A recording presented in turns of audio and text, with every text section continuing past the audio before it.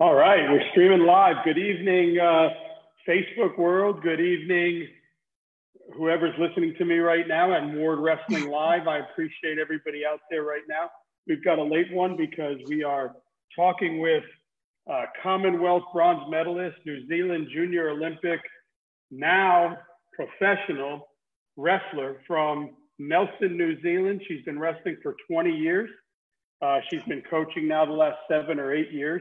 Uh, she's a two-time Commonwealth Games qualifier, and she took bronze, which is the first New Zealand wrestler and first New Zealand woman to medal in, in the Commonwealth Games, which, if you're not familiar, is a very big thing around our around our world here. And uh, we're blessed and lucky to have have her on here with us on Ward Wrestling Live to talk a little bit of wrestling. So, how are you, uh, Tayla? How is things going? And and how's the world look coming through this? It looks like we're coming on the other end of this COVID thing. How has it affected your world? And and and and are we looking good now? Are we kind of getting through this? Do you think? Uh, I'm pretty good. So it's morning time here, so I've just eaten breakfast. Um, with the other end, with this COVID thing, I mean, the only difference was instead of telling everyone how I am and telling them that I've just been training, I just tell them I haven't been. That's the only difference. I'm not very informative. I've just been at home trying to learn new tricks. Um, so I've gone from training like twice a day to maybe once every two. Wow, are you are you doing any weight training or anything, or just kind of just relaxing?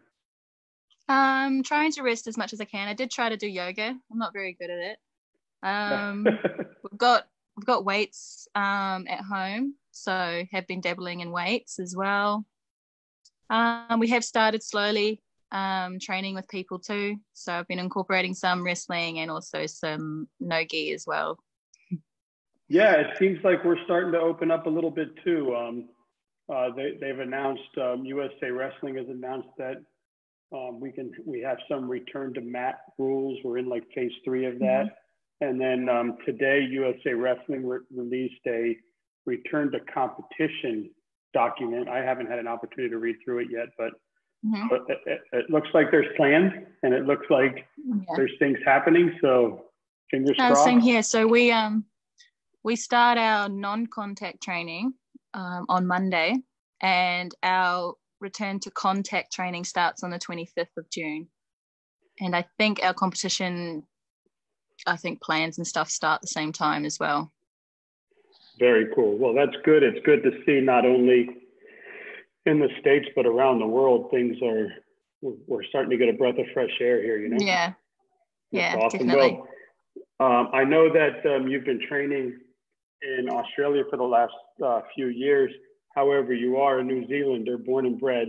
So um, talk about wrestling life in new zealand. Talk about new zealand wrestling and and uh, and where you came from and, and how it's you know what what it's meant for you yeah, sure. Um, so I did start. I started when I was seven.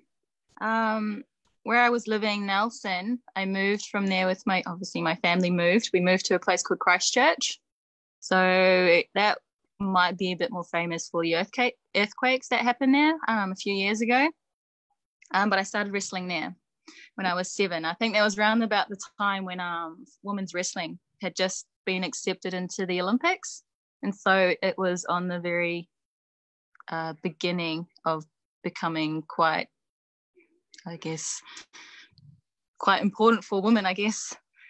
Yeah, it's a um, great thing. So 2000 was when I started. So yeah, women's wrestling had just got into the Olympics, and um, everyone was training in order to try and qualify. So I had just started. Uh, my dad, my dad made me do it. Um, I hated it at first. but no, he was quite he was very encouraging. he was encouraging, and I kept at it. Um, yeah. Nice. what what, what uh, have, yeah, what has it meant for your confidence and and and what you've become in life? Um, I guess for me, I always know what I can and can't do. I guess with my body composition and body movements, I know what I can and can't do. Um, if I have never tried it, I'll try it regardless. If I hurt myself, it's okay. I'm a wrestler. I'll bounce back. um, and I think also um, incorporating that into all the other sports that I've done, the transition has been very easy. And I think because of the adaptability, adaptability skill you get from wrestling, it's made it very easy. So I was very quite cool. good at sports. Yeah, yeah. what uh, what are those other sports that you've um, that you've played? Mm-hmm. I know that you're kind of a multi multi uh, athlete or whatever they call it. But uh, I was reading that you really um, enjoyed some other stuff too. Yeah, I did. Um, when I probably like I guess 10 years ago. I'm old now. Um, Welcome to the club. I was I was doing athletics. I was doing judo. I uh, dabbled a little bit in sambo. I did some grappling, jujitsu, uh, rugby 15s, rugby sevens. Um, did some weight, competed in weightlifting as well. Um, I think that's about it. And obviously wrestling. Yeah, oh, I played. Awesome. I also played kabaddi as well, the Indian sport, and that was really fun. So we went to Worlds for that with New Zealand, and we came third. So that was cool. Oh, that's neat. Yeah. So um, yeah. I know I know that um, I know that wrestling has obviously been part of your life for a long time, and uh, I know that you've had some friendships and experiences that wrestling has created for you that are real special to you. Um, talk about that because I think young men and women around the world uh, need to hear, man. Wrestling is a is life and it's a heck of a sport, and and talk about what it's done for you in that direction. Yeah. I mean, so I have been involved in team sports and obviously um, individual sports. So my favorite has always been individual sports such as wrestling. Um, I think the friendships that I've made, you know, you make them because the people that you encounter, we all know what each other are going. You know, we've had to cut weight, we've had to not eat what we want to eat. We've been told off by our coaches, even though, you know, we're a little bit moody, we're dehydrated and hungry, but yet we still strive. We still listen to our coaches regardless. And the results come from it. And I think because we can relate in that manner, it creates a bond that you can't get if you're just met, meeting in a supermarket or you're meeting through friends. So the friendships that I've created, you know, like one girl, I think she's from Bulgaria. I met her at the Youth Olympic Games in Singapore in 2010. And we saw each other 10 years later. And, you know, it didn't feel like rangers. It wasn't just a hello, it was a big hug there was a few words that we could exchange in English because I don't know how well her English was, but you know, it builds relationships, friendships like that. And I see mainly in women, not men so much. I like women better because I can train them properly. Yeah. You know, if um, I ever need anything, you know, like Carissa, when you spoke with Carissa, if I ever need anything from her, you know, she's there, she'll do it, and vice versa. That's awesome. Yeah, she was um, she was awesome. Yeah, when I spoke to her, she was a, a pleasure. I, I could see um, how she could be a really good friend. That's awesome. So, um, so I, I know that there was a special moment in your life, and this was kind of what made you decide, okay, re- wrestling's the one. Like, you know, I'm I'm good at cricket or rugby or the whatever or this, but but man, you made the Junior Olympics. And and and, and talk about that because that was like that moment where you were like, okay, this, this is my this is my thing. I, am going to do this. And uh, go ahead, tell us about it. Yeah. So um, my first proper international tournament was Singapore, the very first Olympic Games in 2010. Um, it was about a two week wait before I competed because wrestling starts with W, which is at the end of the alphabet for when they like to put the sports on but I mean, during that time, I did make friends with people from Ukraine, from Turkey, from Singapore itself. Um, I think it was being around athletes in a village, so like minded people who had the same goals, who were there to compete, not purely just to, you know, show off, but to get results. Um, it was a good atmosphere to be around, and it made you strive to do better, to be better as well and competing because um, it was my first proper competition um, that my coach saw me at, not just an Oceania tournament. Um, and I think also the layout of the competition system was a little bit different.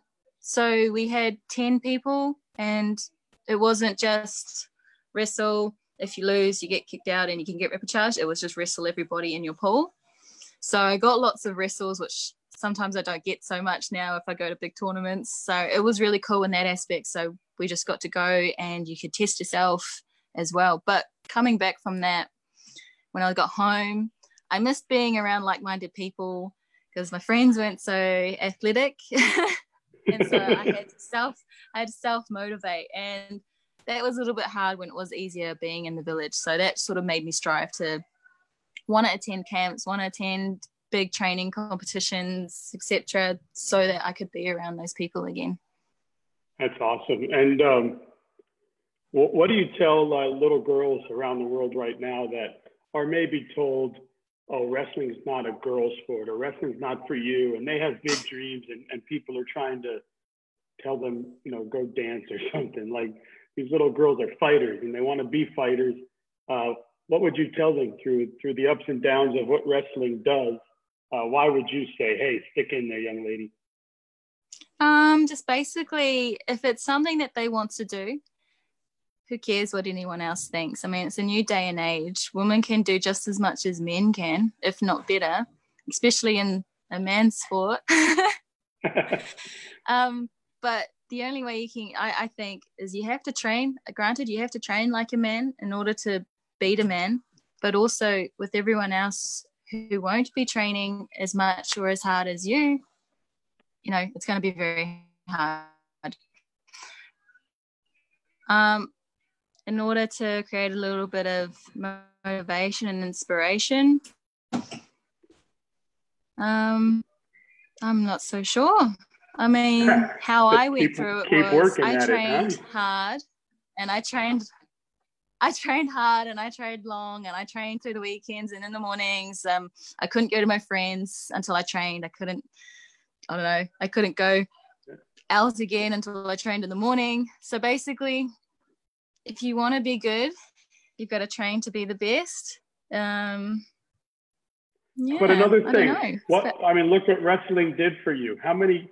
I mean, you don't have to be exact, but how many countries have you been to? How many beautiful places have you seen? How many yeah amazing opportunities have you gotten? Like, I mean, it's it's been a vehicle that's taken you everywhere, right? Oh, it's been an experience of a lifetime, for sure. I mean, if you want to be mediocre, stay home, listen to everybody, or if you want to be great, unique, amazing, special, go off and do what you want to do. Go travel the world. I've been to around yeah close to 30 countries with wrestling wow. and i've made hundreds of friends hundreds and hundreds That's of awesome. friends which are very good friends yeah What's which now um, if i want to go on holiday i can go to my friends houses over say like my my, my good friend Epp she's from estonia so yeah i'll go go stay with go there. yes awesome. so um before we get into my 10 questions what um most memorable moment on the mat?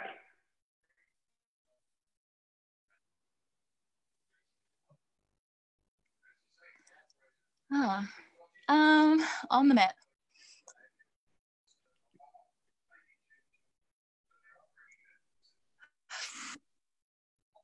I think it would be um it was my second Oceania tournament and there was one one lady and she was i think the face of oceania. So i was about 17 or something and she was a lot older so she had been winning quite a few times for a long time like um and i think i finally got to wrestle her and i pinned her. Hey. it was very cool. Yeah so i think after that after i pinned her um i think i became a new favorite as well nice and, and so that was I, when you felt like you belonged right yeah exactly like i was a little bit scared because of the name that she had created herself and how good everyone uh, had talked about her. She's a super lovely lady. So that humbleness that came with her uh, respect as well, you know, it was a little bit nerve wracking, but I wrestled her and I beat her and awesome. made happy. Awesome. All right, you ready mm. for this? All right, ready? Yes. All right. Kina or white bait fritters? Yes. What was the first one? Uh, Kina or white bait fritters? White face fritters. All right, ready for the next one? Um, I can't see in here. Hang, Yep. hang or savory pie?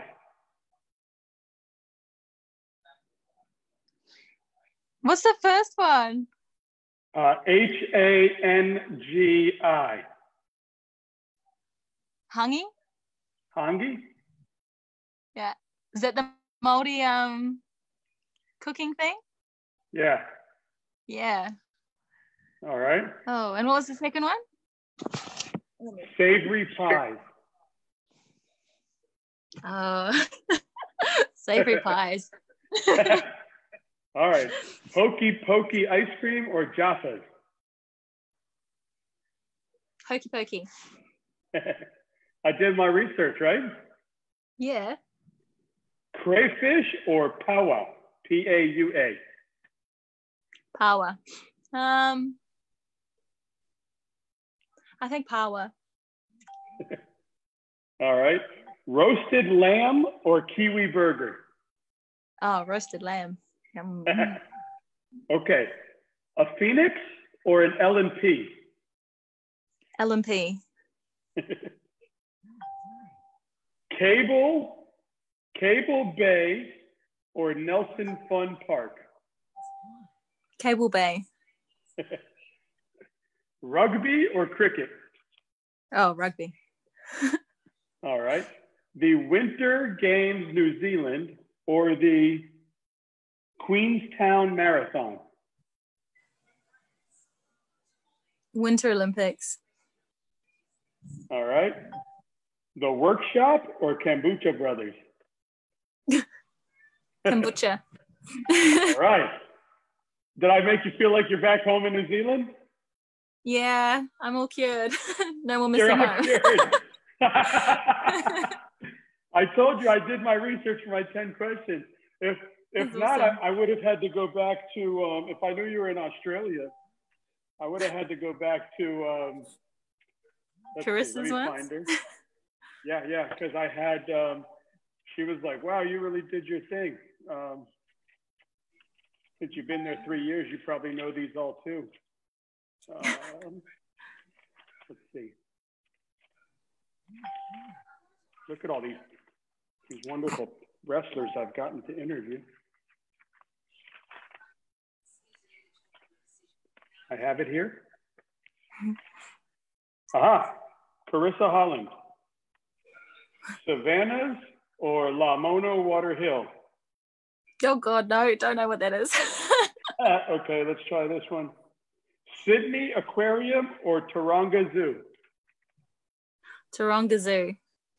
All right, let's see. Um, we know, Of, oh, you you do um, freestyle. So do you prefer the tie or the overtime?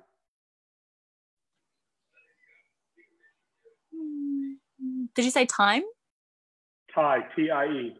Like, do you Oh. like that it has to go to tie and criteria, or do you think there should be an overtime? I've done a few overtimes before, so overtime.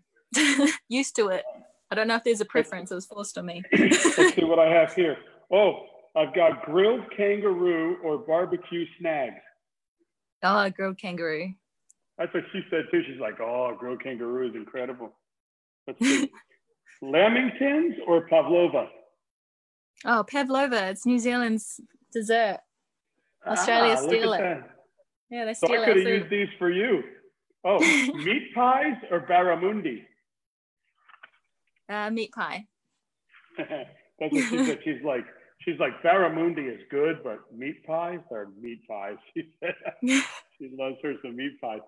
Hey man, I'm glad we kind of did this on the spur of the moment. This was awesome. I, I appreciate you. no, me too. time It was really good. Yeah, I'm, thanks for taking time out. I know you're getting ready to go on and uh, train, so um, you have a, a great time doing that. And uh, man, Yeah. holler at all your girls, man. Tell them to come on. I will. Thank For you so sure. much, Tayla, and Uh, good luck take with me. Take me in all of this so I can share it. Yes, I'll tag you um, on Facebook.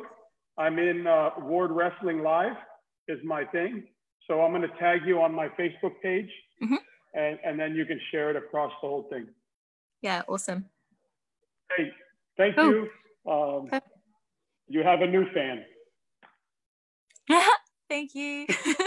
All right. I've appreciated it. Bye. Bye.